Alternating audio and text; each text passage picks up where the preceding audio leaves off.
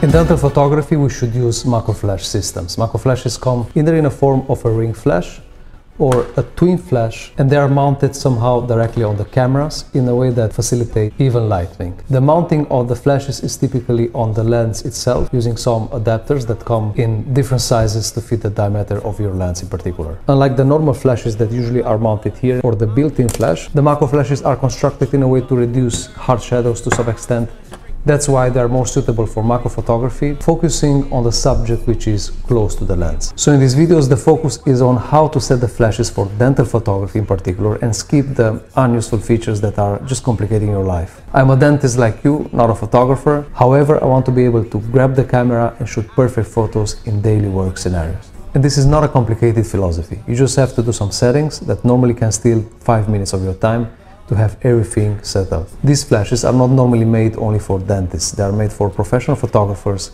especially the ones shooting macro photography like flowers, insects and so on. These guys are using different settings and multiple channels because they want to play with the light to create specific effects. In dental photography we want our twin flashes positioned at the same distance and angle to the subject and also the power should be identical from both sides so the flashes should be set on the same channel and also they should respect the same settings. All of these systems should be used in manual mode, not TTL.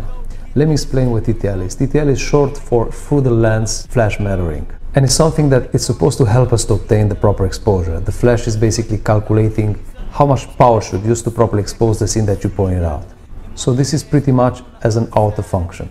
It might sound helpful, but in our case, that's not really true because with a TTL function, we can't have consistency. For example, you set the aperture on a specific value and the TTL function will try to compensate the changes that you did. So in order to have full control on the settings and to have consistency, in each of the systems, we should switch to the manual mode, not TTL. I will try to explain in the smallest detail the most used systems in separate chapters and eventually if any new system comes on the market, I will add a new chapter later on.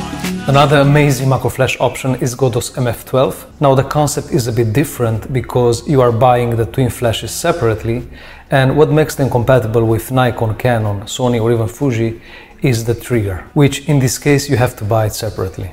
You can find two types of trigger, for example Godox X Pro and when you purchase it, you should choose this trigger for the system that you have. For example, if I have a Canon camera, I will buy Godox X Pro C. If I have a Nikon camera, I will buy Godox X Pro N. So the difference is actually in this letter here. You can also find Godox X Pro S for Sony, Godox X Pro F for Fuji and so on. And this is important because the structure of the pins here is different and you can damage your hot shoe if you use Nikon trigger for a Canon camera and the other way around.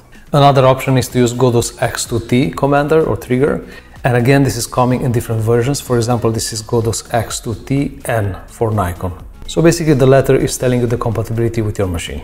Going back to the flashes, they are all identical, it doesn't matter if it's Nikon, Canon or Sony. As I told you, what makes them compatible with your camera is actually the commander, the trigger.